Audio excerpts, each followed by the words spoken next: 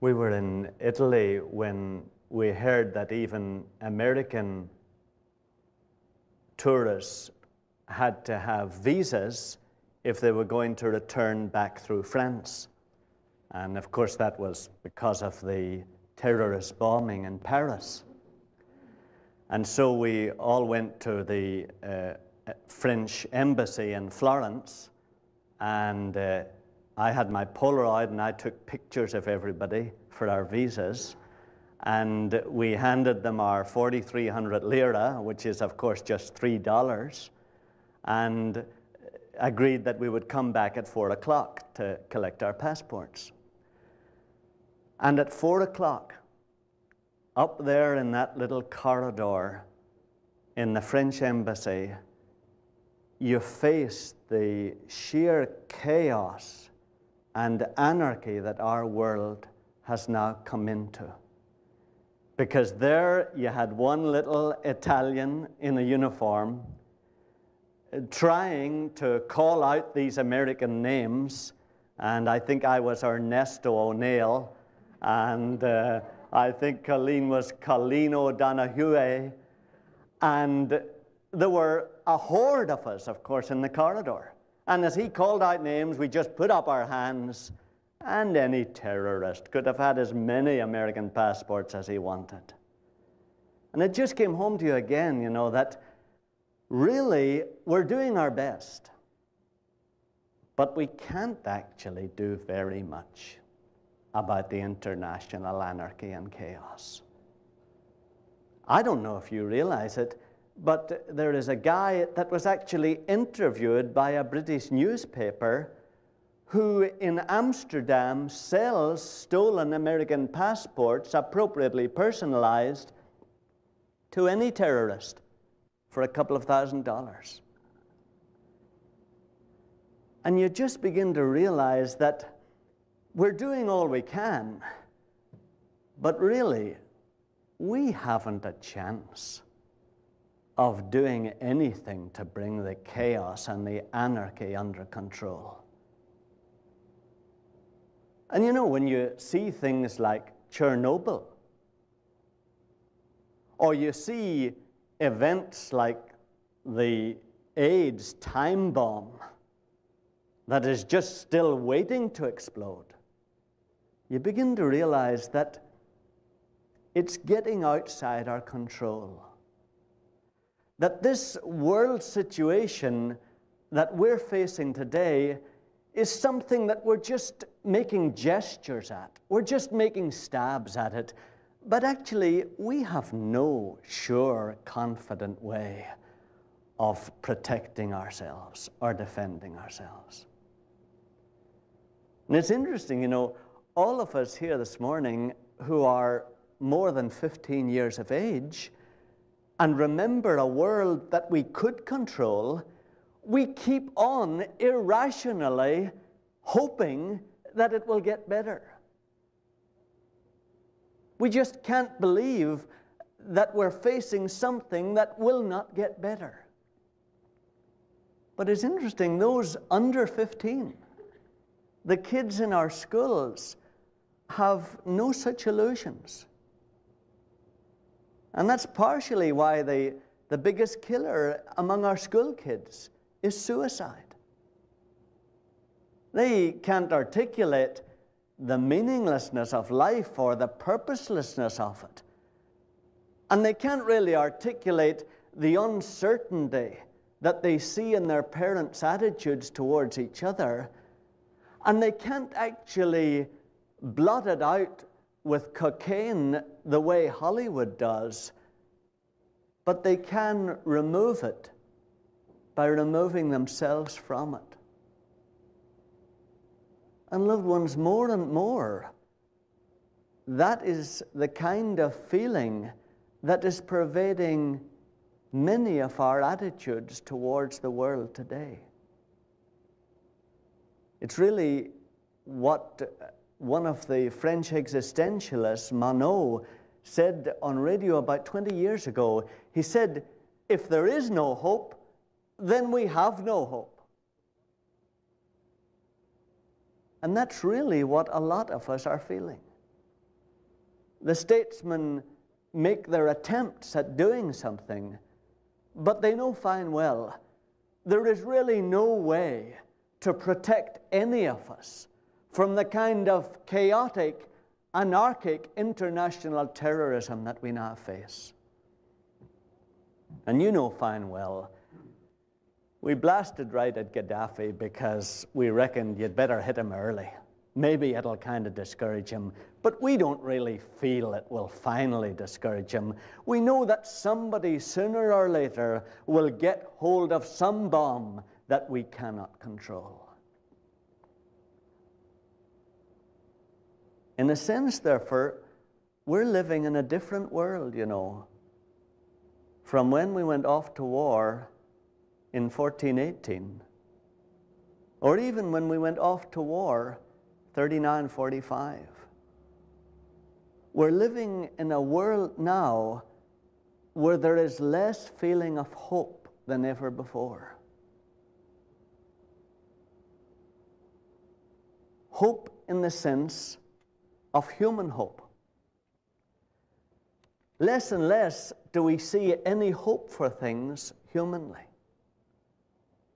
Human hope is based on the way things look as if they're going to turn out.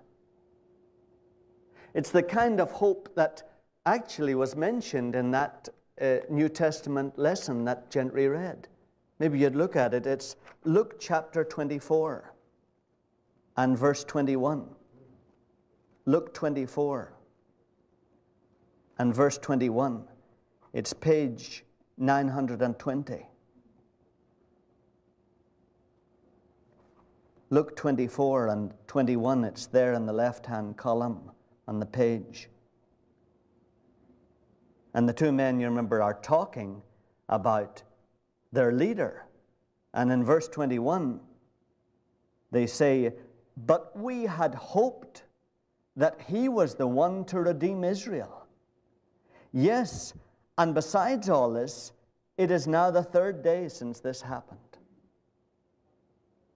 In other words, they were saying our leader was tried and executed, and he was supposed to rise on the third day, but we see no signs of him rising.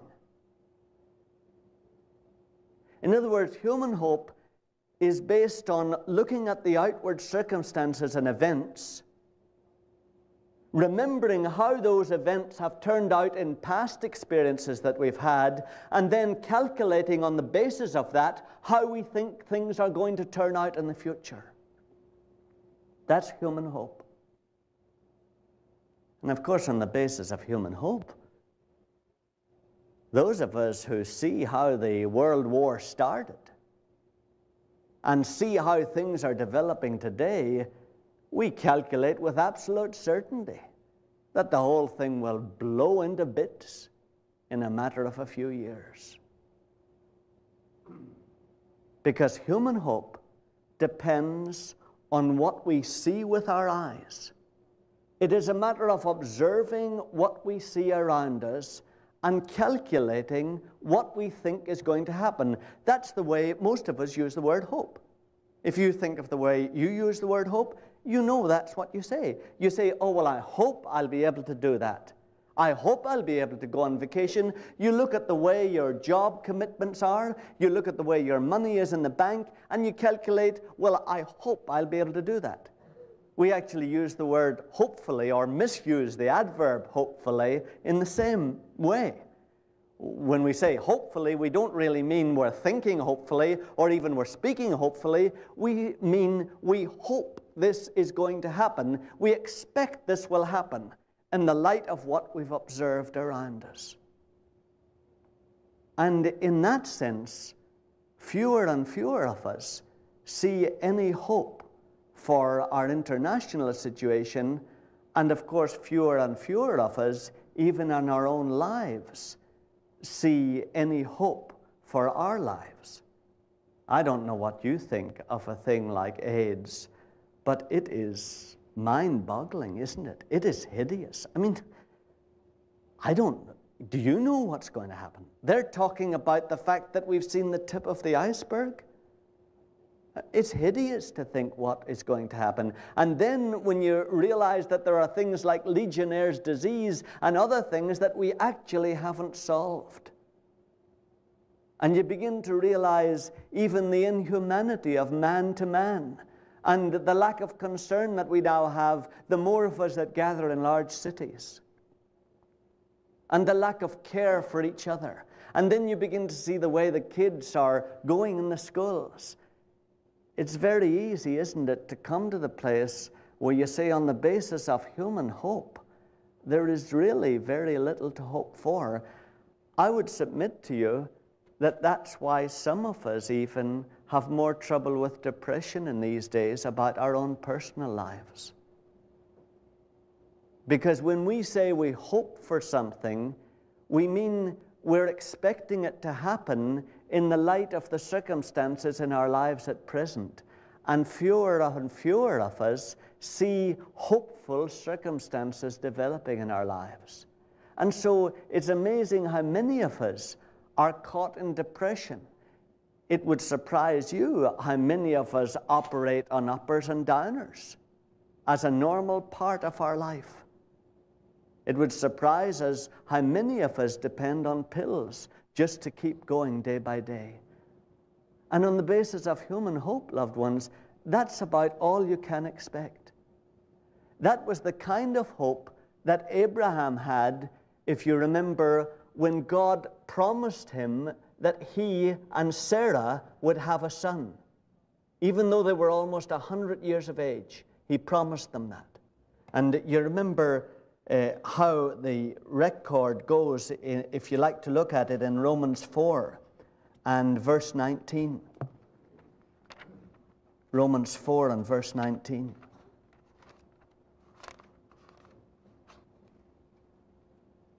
It's page 980. Romans 4 and 19. You see it there at the bottom left hand corner of the page in verse 19.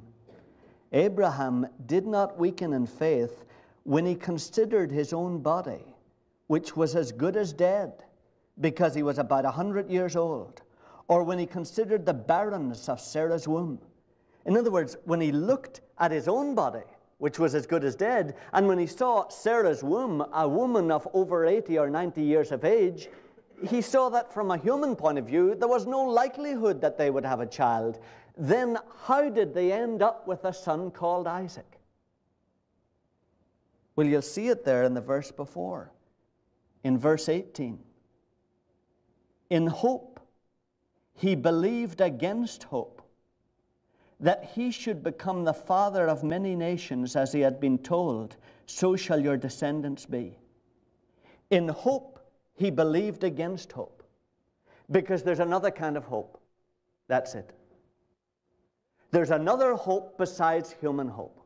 Human hope is based on what the circumstances seem to indicate in the light of your past experience of similar circumstances. Human hope is based on what you see with your eyes, what you hear with your ears. There is another kind of hope. And it was in that hope that Abraham hoped.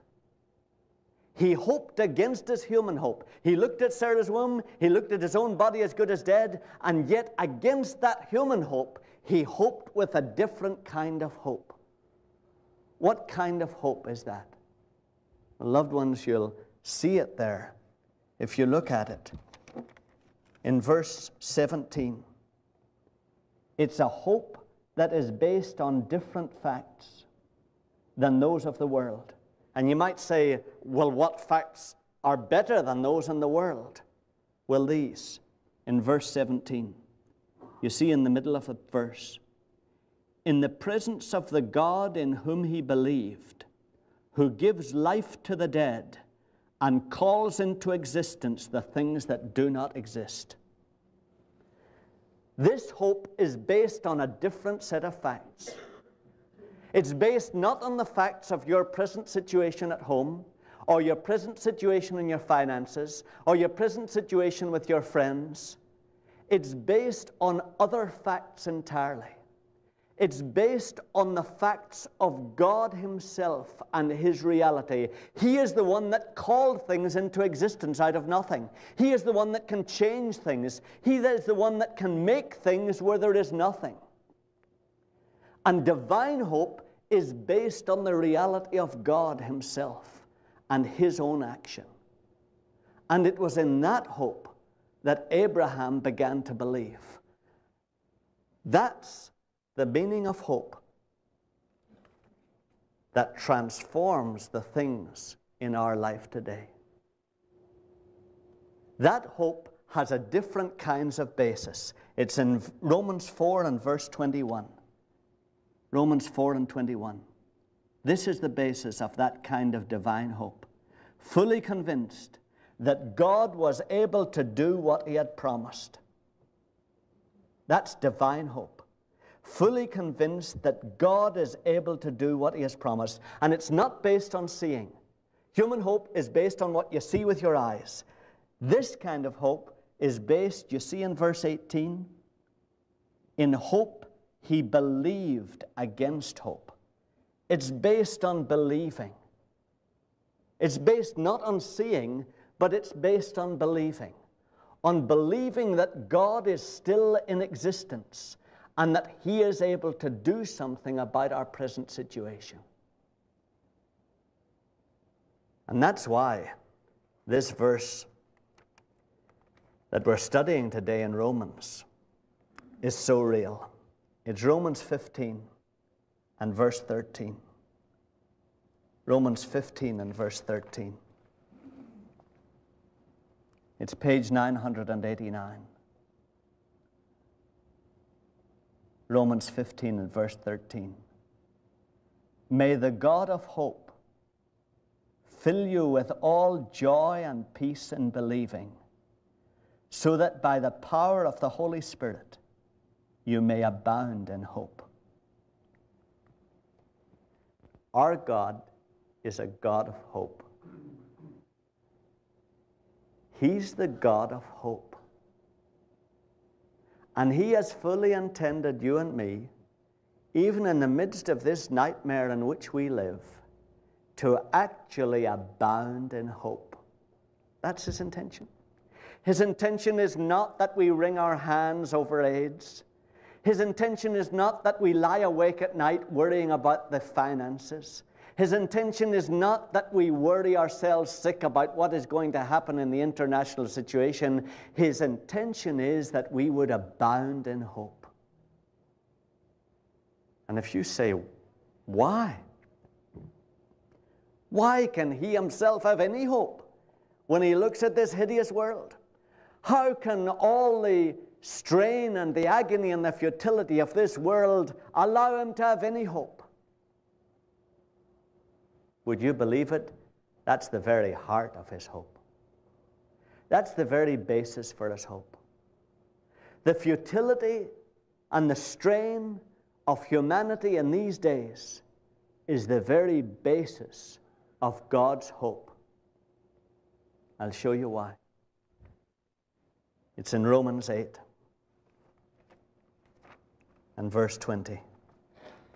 Romans 8 and verse 20.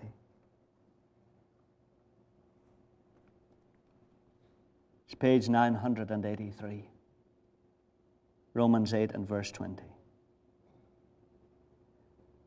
For the creation was subjected to futility, not of its own will, but by the will of him who subjected it in hope because the creation itself will be set free from its bondage to decay and obtain the glorious liberty of the children of God.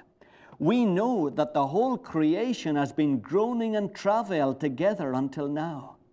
And not only the creation, but we ourselves, who have the first fruits of the Spirit, groan inwardly as we wait for adoption as sons, the redemption of our bodies. For in this hope we are saved.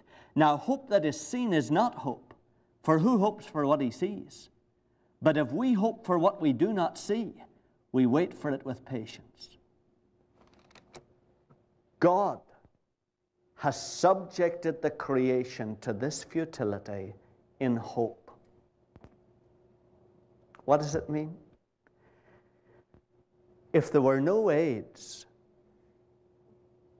we would never know that what we call love is not love.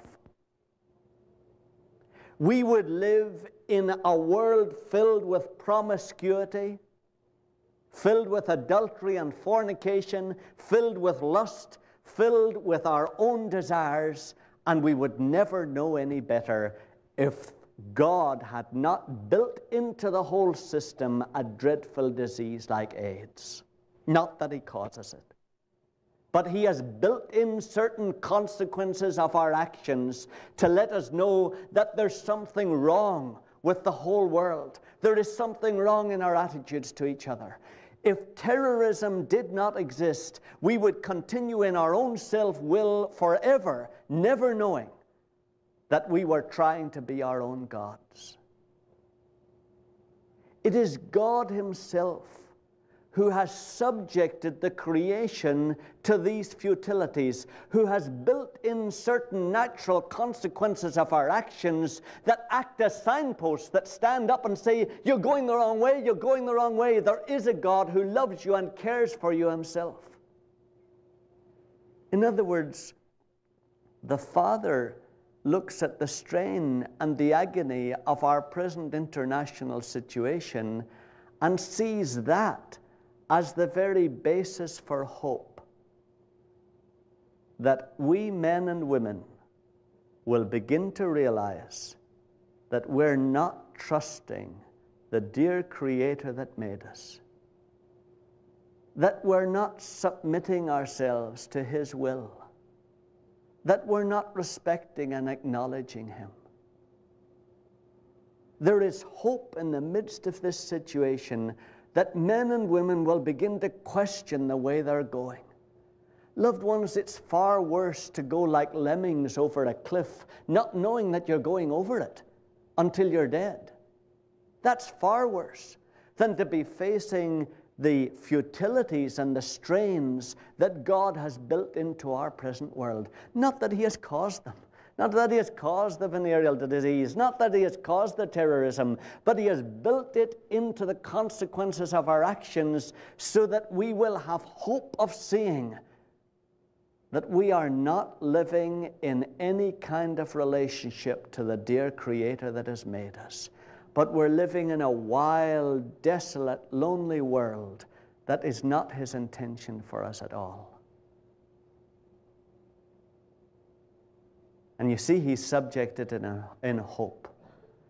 Not that we would just sometime after death be set free from these things, but he's subjected in, in hope so that we would be freed from these wild spirits of anarchy and terror that rule our world, so that we would begin to be freed from the fear of these epidemics and these diseases, so that we would begin to be freed from our dreadful anxiety neuroses how can we be freed from those?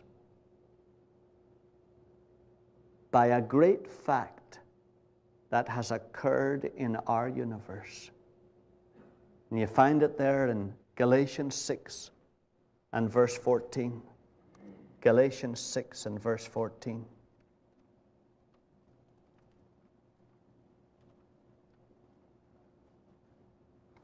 It's page 1016. Galatians 6 and verse 14. But far be it from me to glory except in the cross of our Lord Jesus Christ, by which the world has been crucified to me, and I to the world. God foresaw how little ones in Cologne and in Hamburg and in London and in Paris would lie under the stairs at night, trembling as the bombs fell on their house.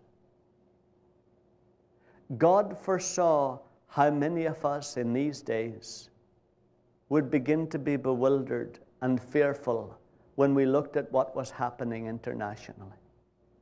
God foresaw how many of us would fall into anxiety neuroses because of the weight and the burden of our ordinary everyday lives. And He took those powers because those are actual spiritual powers that impinge upon you. So often we think, oh no, they're just rational. You know they're utterly irrational. Because in a given situation, a few hours later, they're lifted off you completely. God saw that those spiritual powers would impinge upon us, and He put them into His Son Jesus. And in a death that was actually cosmic, because the temporal death of Jesus on the cross is only an expression of a cosmic death that God executed in His Son. And in that death, God destroyed the power of those spiritual forces to send you into chaos and fear. And it is possible, loved ones, if you believe that. Because that's why the verse says, May the God of hope give you all joy and peace in believing. If you believe that, you can live in the midst of this chaotic world free from the effects of those powers in your own heart and life. So that you will not love, live under their domination or under their fear. And you will not die before it is God's time to receive you. In other words, the Father in His Son Jesus has destroyed the power of those forces to destroy you or me. That's why the women and the children went into the lion arenas with such peace in their faces. They knew that no lion would kill them. The father might designate to take them at a certain moment, but no lion would kill them because he had already shown them that Daniel could not be destroyed even in a fiery furnace. He had already shown them that the Israelites again and again were delivered from powers that were overwhelming, that a little David could destroy a massive giant Goliath because those forces had been destroyed in Jesus' death from before the foundation of the world. And that is the hope that God intends us to live in. Not a hope that is based on the way things look but a hope that is based on what He has done in His Son Jesus to destroy the powers of those things to affect us in any way. Loved ones, coming right back to home. How are you living yourself these days? How are you living? By what hope are you living? Are you living by human hope? I feel for you because I think some of you are. And I know what it has been like in my own life to live that way. You know, where you keep watching the way your life's going, you know the way it goes. You keep watching the way your life's going. You keep watching the way things are falling out. You keep watching the way your job's going. You keep watching the way your money's going. You keep watching the way your marriage is going or the way your hope of marriage is going. You keep watching the way your life is draining away as the years pass. You know that? You keep watching. I feel for you. I could cry for you because I think many of us live in that situation. And you keep looking, the old binoculars out. We torture ourselves. We torture ourselves. We do. We just torture ourselves. It's like some unseen hand fascinates us and mesmerizes us with those things. So we keep looking at these so called facts of our lives and you know the effect. I mean, at times it's just a drain to get up. It's a miracle to get up some mornings and go through the next day. Loved ones, there is no human hope. There isn't. There is no human hope. Let me tell you, it's nothing very deep, but it's the deepest thing, one of the deepest truths we have. You're going to die. you're going to die. After you've taken all the vitamins and after you've slogged yourself around those running tracks for miles, you're finally going to die. It's funny, but after, what is it, after 16 or 13, maybe it's all downhill, isn't it? More cells are dying than are being created. Stop that. Stop that human hope thing. Stop torturing yourself with human hope. There is no human hope. Stop getting worried and wringing your hands in despair over the terrible things that are happening in the world. Stop letting fear grip you when you read something new in the newspaper. Stop that.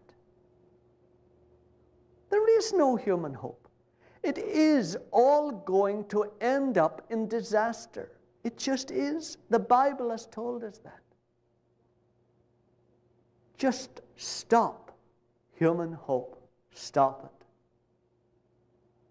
And switch to divine hope. Switch to believing that the Lord God did really what he says he's done. That he's crucified the world, the whole complex system of world events and world powers and world forces, he's destroyed it in his son Jesus, and he's destroyed its ability to affect you in any way. So that a thousand will fall at your left hand and a ten thousand at your right hand, but it will not come nigh you. Start exercising divine hope. Start today after service. Stop the business of thinking what's going to happen this afternoon and how on earth are you going to make it reasonably happy or satisfying or how you're going to avoid doing the thing you don't want to do. Stop that. And think at this moment, Lord God, you knew the way things would go this afternoon and you foresaw it. And whatever unpleasant things are set to affect me this afternoon, you have put into Jesus your Son, and I do, do not explain it and I cannot explain it, but you have destroyed their power to take away from me your life and peace. I thank you for that, Lord, and go into this afternoon trusting in your Father trusting that He has a good afternoon for you. And when things happen that you don't think are so good, trust Him. Lord, you want only good for me. And so I know that there's good in this for me. And when a bad thing happens, see that the Father is using that to do something in you to bring him closer to bring you closer to himself than you have been in the past. In other words, throw away human hope. You can't get anywhere. You can't buoy up your feelings with human hope. Forget it and begin to believe God.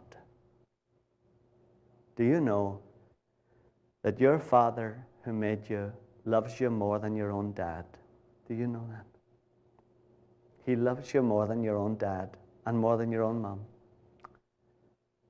And you know fine well that when they thought of this afternoon for you, they did everything they could to make it a good afternoon for you. They did. And when they thought of next week, they did everything to make it a happy time for you. That's what your Father is doing. He, at this moment, in His great infinite mind, is working out how to make these next hours good for you. And He has the power to do it.